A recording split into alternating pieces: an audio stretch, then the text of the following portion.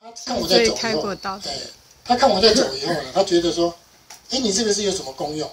他说我脊椎开刀可不可以？我说你脊椎开刀可以去减轻你脊椎的压力，但是可不可以？因为我不是不是医生，我不敢跟你肯定。但是我自己我的感觉是走起来会很轻松。后来他到我介绍他到店面来，然后他自己试验结果，他现在在淮南淮南那边每天跟他太太在走，走得很舒服。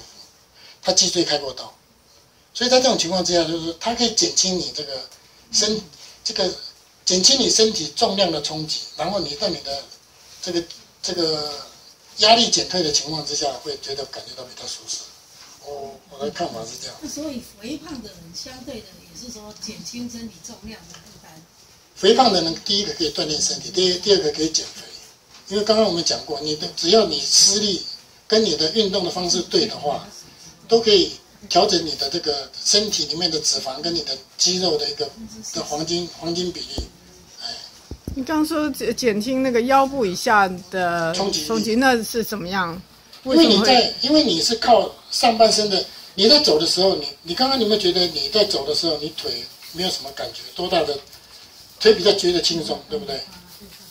那平常我们一般来讲的话，你去看所有的书籍，我们在走路的时候，我们腰部以下所接受到的那个冲击力，大概是我们身体的一点五倍到两二点五倍。嗯，看你怎么走路的方式。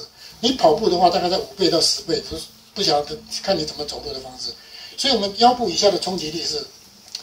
在我们的身体的冲击底下是负担很重的，所以我是觉得说，你如果持竿健走的姿势，你不求快，不要求快，求这个姿势对，然后在施力方面，如果锻炼肌肉跟肌力、肌耐力的这个过程当中你是对的话，效果是很很快就会凸显出来。